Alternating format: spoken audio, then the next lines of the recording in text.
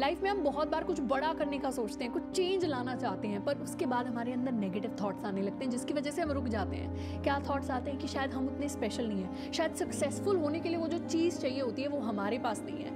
ऐसे में सिर्फ़ एक चीज़ याद रखने की ज़रूरत है कि दुनिया के अंदर हर किसी के पास एक सुपर पावर होता है। हो सकता है किसी के लिए वो सुपर पावर मनी हो सकता है किसी के लिए कम्युनिकेशन स्किल्स हो हो सकता है किसी के लिए सोशल स्किल्स हो कि हम लोगों को दोस्त कितनी जल्दी बनाते हैं। हो सकता है किसी के लिए इंटेलिजेंस हो, किसी के लिए फोकस हो, किसी के लिए पेशेंस हो, पर सवाल ये नहीं है कि हमारी सुपर पावर क्या है, वो कितनी स्ट्रांग है। सवाल ये है कि हमारे पास जितना है, उससे हम क्या कर पाते हैं। तो लाइफ के अंदर जो भी हमारे गोल्स हैं, वो इसलिए नहीं होने चाहिए कि हम अपने खर्चे निकाल लें, वो इसलिए होने चाहिए कि हम सोसाइटी के अंदर लाइफ के अंदर एक डिफरेंस लेकर आ सकें। आज के लिए इतना ही, मिलता है नेक्स्ट वीडियो में चल देन कीप लर्निंग